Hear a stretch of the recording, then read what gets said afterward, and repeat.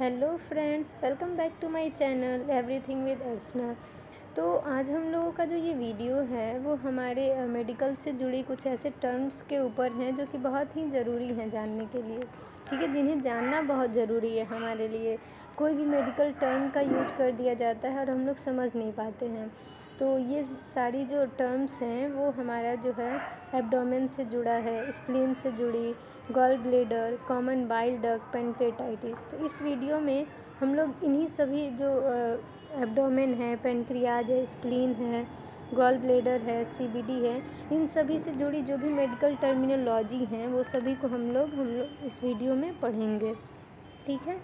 तो आगे हम लोग सबसे पहले पेनक्रियाज के बारे में पढ़ेंगे। तो पेनक्रियाज से जुड़ी कुछ ऐसे टर्म्स हैं जिन्हें जानना बहुत ज़रूरी है। वो टर्म है acute condition of the pancreas presenting with abdominal pain यानी एक्यूट कंडीशन है, यानी कम दिनों के लिए हुआ है, ठीक है, कम दिनों के लिए है। और कुछ समय से पेट में दर्द हो रहा है मतलब अभी पाँच छः दिन हो रहा है, पाँच छः दिन से पेट में दर्द हो रहा है। और मेनली पेनक्रेटाइटिस का मतलब क्या है कि पेनक्रियाज में इन्फेक्शन हो जाना इन्फ्लेमेशन हो जाना। ठीक है? तो ये हमारा पेनक्रेटाइटिस है और एक्यूट का मतलब कम दिनों के लिए, ठीक है? तो जो कम दिनों के लिए हो रहा है, ये कम मतलब थोड़े दिनों से दर्द हो रहा है, पेट में महसूस हो रहा है कि पेनक्रियाज जहाँ है, वहाँ पे दर्द हो रहा है, ठीक है? तो वो हमारा क्या है? एक्यूट पेनक्रेटाइटिस है। Continued inflammation of the pancreas और यही जो पेनक्रियाज का जो इन्फ्लेमेशन है, वो बहुत दिनों तक कंटिन्यू रह रहा है मतलब ठीक नहीं हुआ। पाँच छः दिन था, अब एकदम महीनों हो गया, लेकिन ठीक नहीं हुआ।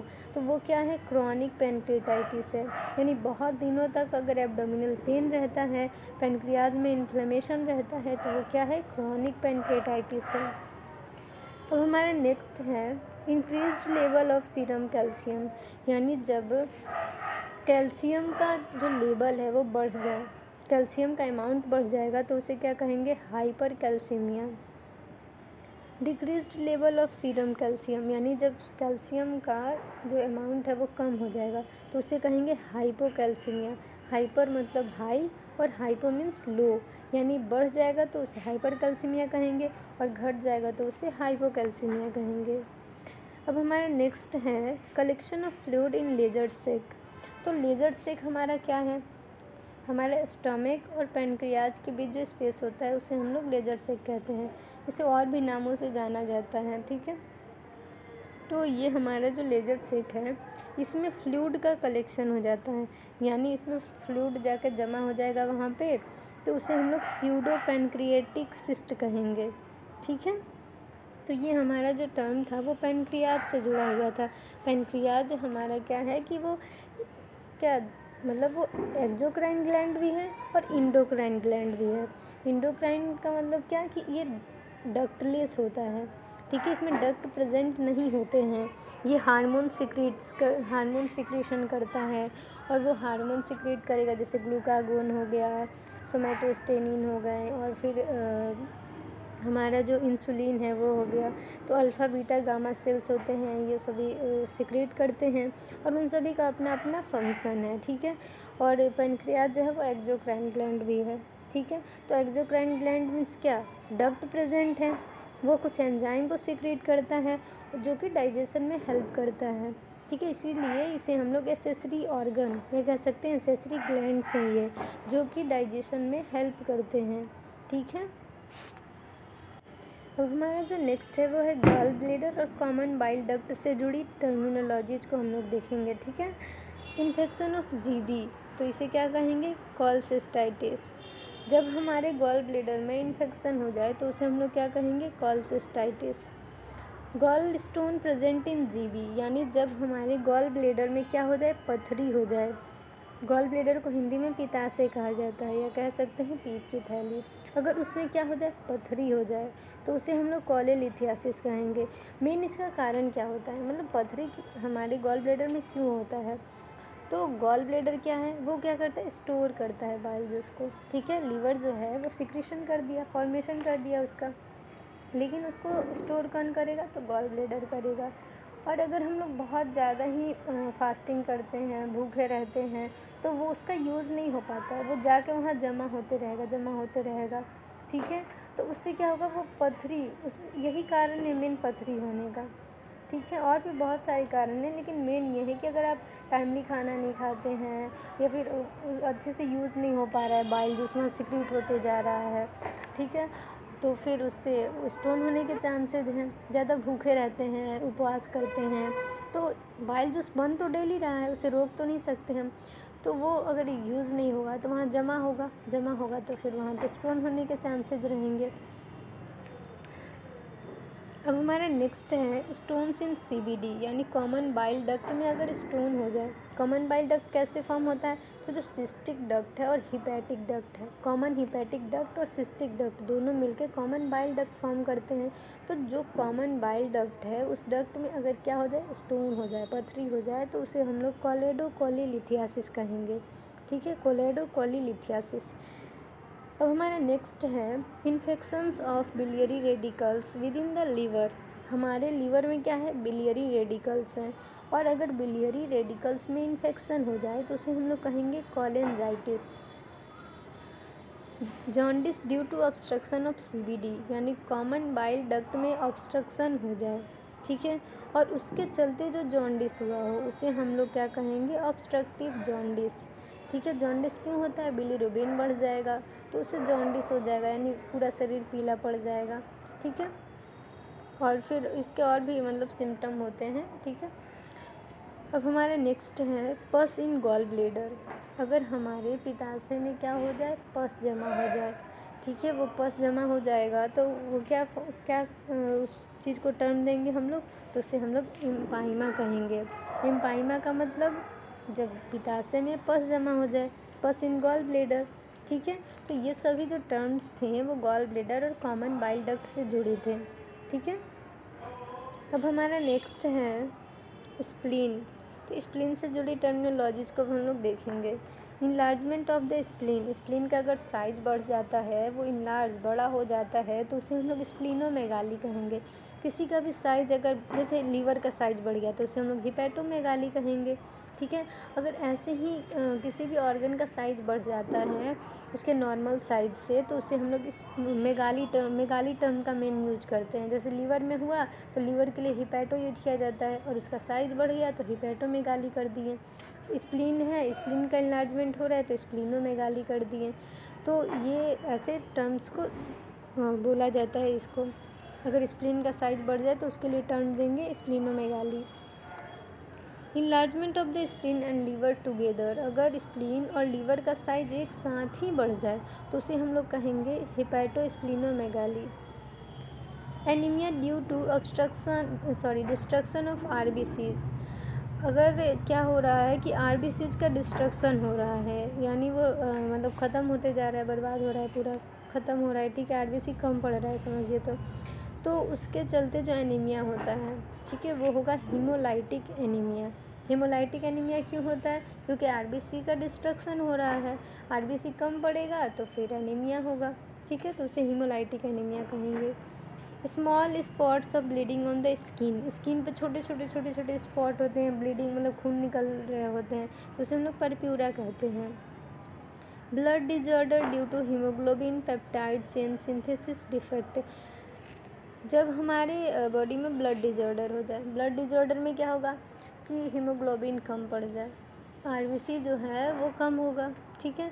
आरबीसी का प्रोडक्शन कम हो जाए तो हीमोग्लोबिन क्या है? वो प्रोटीन है एक तरह का, जो कि ऑक्सीजन को कैरी करता है पूरे बॉडी में, और हीमोग्लोबिन के चलते ही जो हमारा आरबीसी होता है, उसका कलर रेड होता है तो अगर हीमोग्लोबिन कम हो जाए तो आरबीसी आरबीसी कम होगा तो हीमोग्लोबिन कम होगा। हीमोग्लोबिन कम हो जाएगा तो ये एक तरह का ब्लड डिजॉर्डर है ठीक है?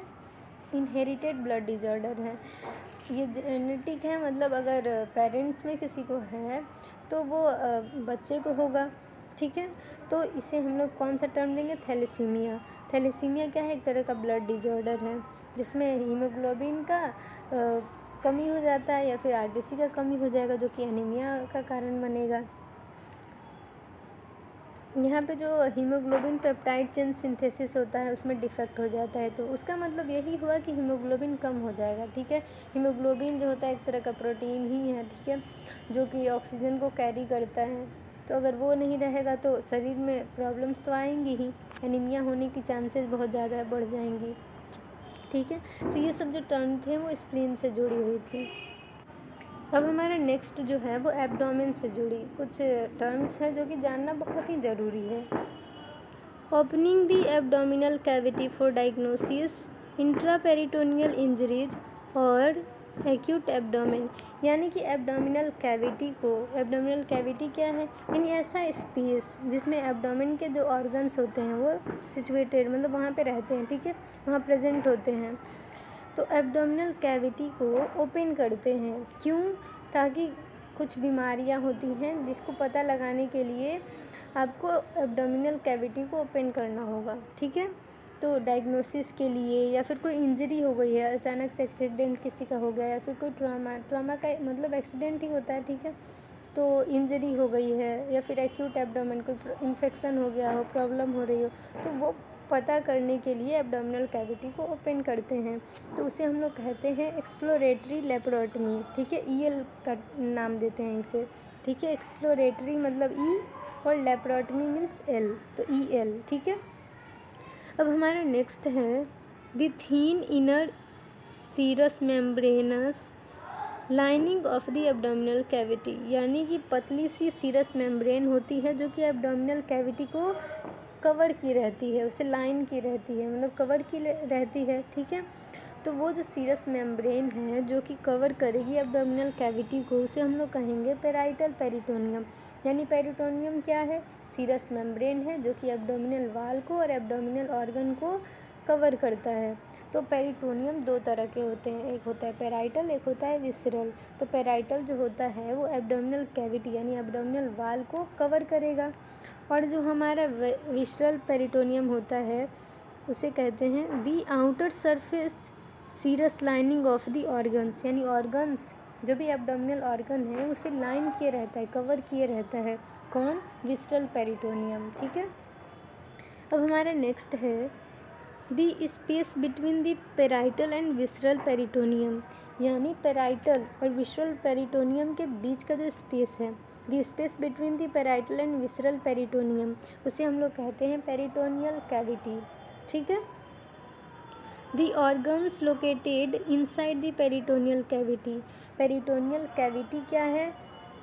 विसरल और पेराइटल पेरिटोनियम के बीच का स्पेस और जो पेरिटोनियल कैविटी के अंदर ऑर्गन होते हैं, उसे हम लोग कहते हैं intraperitoneal the organs located outside the peritoneal cavity peritoneal cavity के जो बाहर होते हैं, उसे हम लोग कहते हैं extraperitoneal the organs outside and behind the peritoneal cavity यानी पेरिटोनियल कैविटी के बाहर तो हैं ही, कहाँ है और उसके पीछे है, उसे हम लोग कहते हैं रेट्रोपेरिटोनियल यानी हमारा जो किडनी है वो क्या है?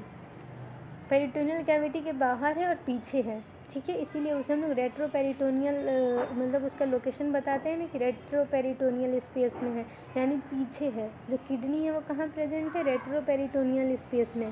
पेरिटोनियल कैविटी के बाहर है और पीछे है। ठीक है? The enormous dilation of the colon ठीक है? क्या होता है कि डायलेशन हो जाता है कोलोन का। ठीक है? तो उसे हम लोग कहेंगे मेगा कोलोन ठीक है? जो हमारा नेक्स्ट टर्म है, वो है the hollow protrusion on the side wall of a hollow organ जैसे में हमारा जो इंटेस्टाइन है, वो होलो ऑर्गन है, ठीक है? और इसमें क्या हो जा रहा है? प्रोट्रूजन हो जा रहा है। यानी कि साइड से क्या हो जा रहा है कि थोड़ा सा प्रोट्रूजन निकल जा रहा है वहाँ से, ठीक है? तो ये जो निकला हुआ भाग है, उसे हम लोग डाइवर्टिक्यूलम कहेंगे। इंटेस्टाइन है होलो ऑर्गन है, ठीक है? उसके साइड से, जो उसका किनारे का दीवार है, वहाँ से थोड़ा सा आउटग्रोथ जैसे कि हाइड्रा देखा होगा आप लोगों ने, या फिर ईस्ट देखा होगा, उसमें देखते हैं कि आउटग्रोथ हो जाता है साइड से, ठीक है? तो वैसे ही ये जो हमारा हाथ है, जो इंटेस्टाइन है, ठीक है? उसका साइड का जो वॉल है, जो दीवार है, ठीक है? किनारी जो है, वहाँ से ऐसे बैलून की तरह निकला हुआ दिख रहा है। तो ये जो निकला हुआ है होलो प्रोट्रूजन जो है साइड वाल से, उसे हम लोग डाइवर्टिक्यूलम कहेंगे, ठीक है? तो ये हमारा जो है वो एब्डोमेन से जुड़ा कुछ टर्म है, जिसे जानना बहुत ज़रूरी है, ठीक है? तो ये सभी कुछ मेडिकल टर्मिनोलॉजीज थे, जिन्हें जानना बहुत ज़रूरी था। तो आई होप ये वीडियो आप लोगों को अच्छी लगी होगी। तो thank you for watching my